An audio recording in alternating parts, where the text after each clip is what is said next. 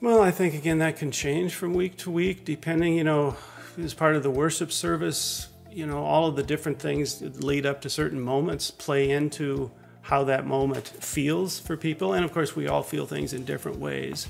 Um, we all come in on a Sunday morning in a different place. You know, somebody may be very had something very tra traumatizing happen to the day before. Someone may be very joyful.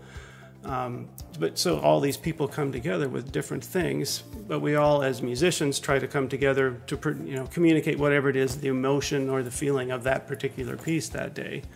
Um, you kind of have to put aside yourself a little bit, you know. And I think one of the things that uh, I became obvious during the pandemic and very painfully clear is that being a part of these musical groups, um, it's something you can't recreate on your own. You know, you can do music by yourself, you can sing at home by yourself or whatever, but part of an ensemble, there are things that you just can't do on your own. And when those things were lost to us during the pandemic, it became very obvious, you know, what we were missing out on.